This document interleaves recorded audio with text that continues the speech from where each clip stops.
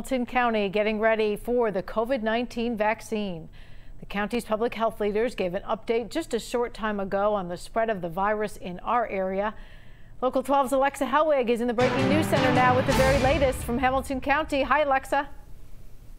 Hi, Liz. The county is again seeing uh, more than 4,000 positive cases in the last seven days. The health commissioner says this is a monumental increase. Now, Thanksgiving is next week, and these public health leaders are pleading with people to not have guests over at their house. They say this will spread COVID 19. Now, hospitalizations are at about 550 in the region, and ICU admissions are at 125. That's an update on the numbers this week. But also today, Hamilton County Emergency Management talks about its preparations for the COVID 19 vaccine. It has developed a secure location that could store tens of thousands of doses.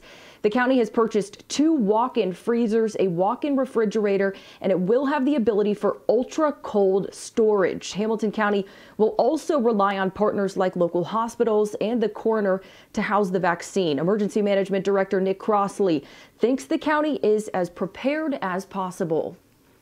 We have, I know all the health departments are working on and finalizing their plans and procedures. We have the personal protective equipment on hand to protect the workers that are distributing the vaccine.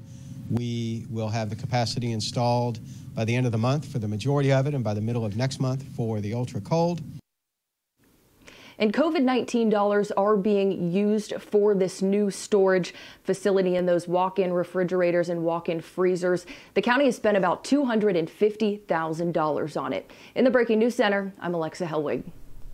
Thank you, Alexa. The county did see its worst day on record this past Saturday with nearly 500 cases.